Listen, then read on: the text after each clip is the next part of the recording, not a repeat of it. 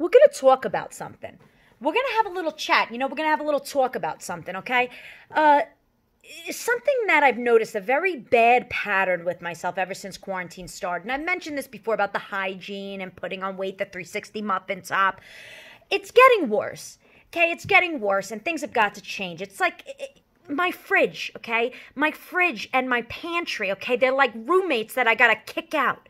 I gotta kick them out. Nope, sorry, you didn't pay rent this month. Get the hell out of here, okay? Because what it's doing to me is it's turning me into the Pillsbury Doughboy, but the female version. And that's questionable. Okay, that's questionable. So now I wonder to myself, how am I gonna get through this? You know, I've wanted time to prepare my meals. Now I have more time to prepare my meals. You would think that that means I also have more time to go for runs. And I do that. I go for runs, but you can't outrun a bad diet. And now that this is always available to me, I'm going in there. I'm going in there to round me 24 7.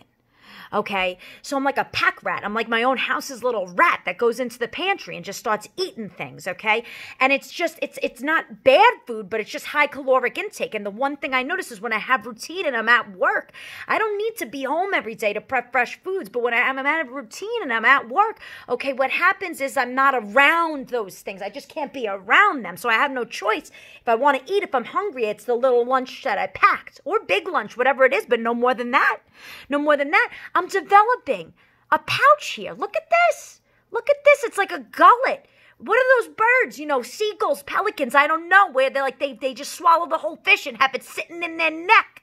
Okay, sitting in their neck. That's like me now. I can just go ahead and just do an apple whole and let it just sit right here in my neck for a little bit, enjoy the flavor longer. What am I? What am I? I'm telling I had a donut today. One of the students brought a, brought a donut to us. They were, we were doing senior distribution, okay? My watch told me keep it up with a running figure. See, I gotta take care of things, people. My watch is telling me keep it up after I ate a donut? I wasn't going for a walk. No wonder why. All my electronics are reversed. I'm, it's reversed and it's telling me to keep doing what I'm doing when I eat something bad. That's weird.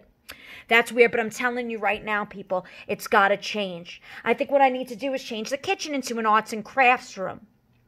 Arts and crafts, okay? And have like three little things available okay? And only eat when i feel like i'm going to pass out. That's how i'm going to revert this into no longer i'm to be a hummingbird not a pelican a hummingbird okay? Maybe a woodpecker okay? Maybe a woodpecker i don't know. I got to look up my birds. But either way get rid of this. What is this Need a facelift in my 20s. Unbelievable.